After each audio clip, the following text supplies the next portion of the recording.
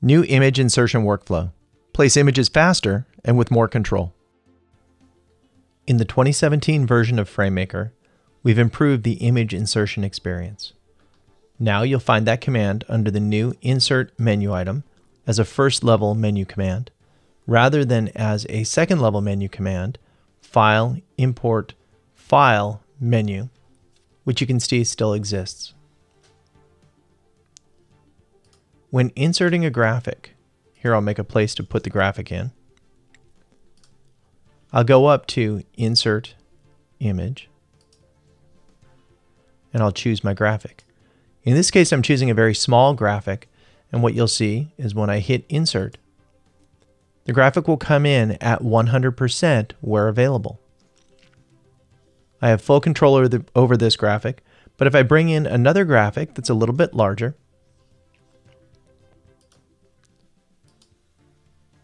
the same image saved with more pixels across.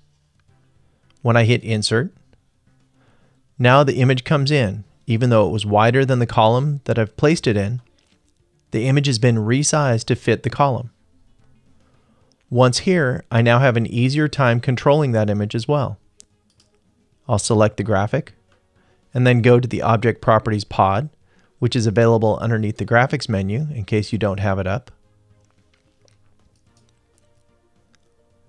You can see that the scale information has been preserved, and I can scale either using specific image information here by choosing scale and then hitting apply, or I can choose a specific DPI.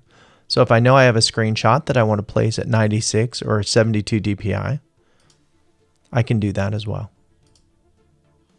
And you can see that the scale changes accordingly.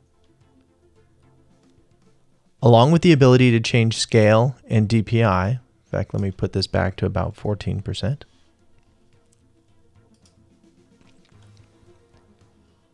I also have the ability to choose an object style, and when I choose that object style, I can quickly apply a series of settings to the graphic based upon things that I have saved in my template.